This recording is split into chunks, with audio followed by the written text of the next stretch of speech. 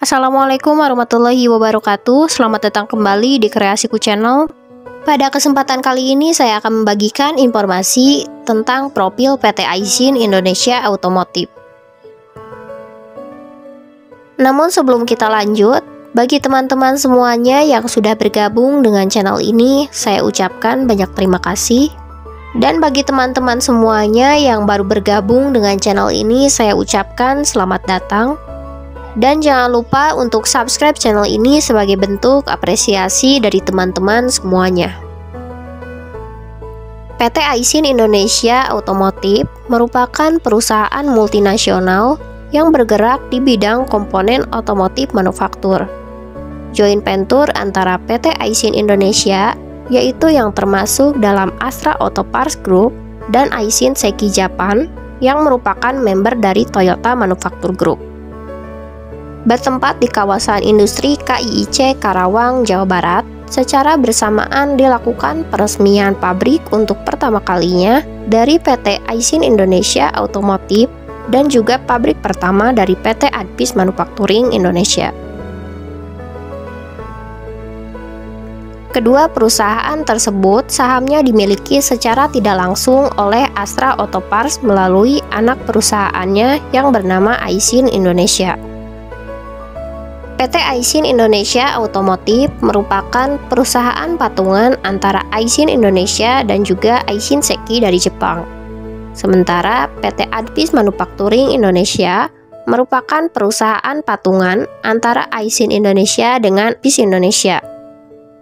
Prosesi peresmian yang dimulai dengan penandatanganan batu prasasti dan juga pengguntingan pita ini dihadiri oleh Cecilia Nurhadiana Bupati Karawang, jajaran Direksi Astra Autopars, jajaran Direksi Aisin Indonesia, jajaran Direksi Aisin Seki, customer, supplier, serta jajaran Muspida setempat.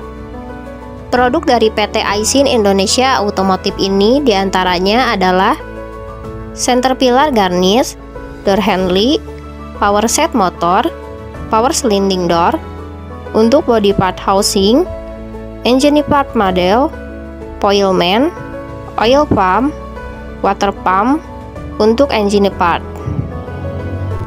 yang dipasarkan untuk APM domestik seperti Toyota Motor Manufacturing Indonesia, Astra Daihatsu Motor, dan Suzuki Indomobil Motor. PT Aisin Indonesia Automotive mulai beroperasi sejak tahun 2004 di atas lahan seluas 12 hektar dengan kapasitas produksi sekitar 6 juta unit per tahun.